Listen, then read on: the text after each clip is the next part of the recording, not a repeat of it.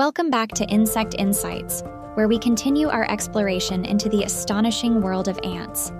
If you missed part one, be sure to check it out for a fascinating glimpse into the lives of these tiny insects. Today, we're diving into different ant species and uncovering effective strategies for ant prevention and control. Let's get started.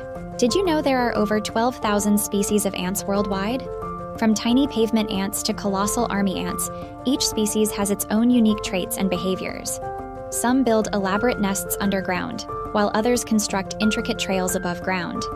It's a diverse world buzzing with activity. Now let's take a look at the types of ants you're likely to find inside US homes. Odorous house ants get their name from the odor they emit when crushed and are usually found near moisture indoors.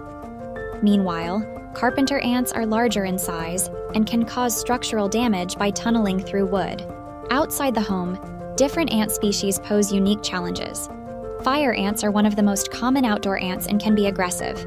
Stinging anything that disturbs their mound, they can pose a risk to children and pets. Ants are one of the most common pests in the US.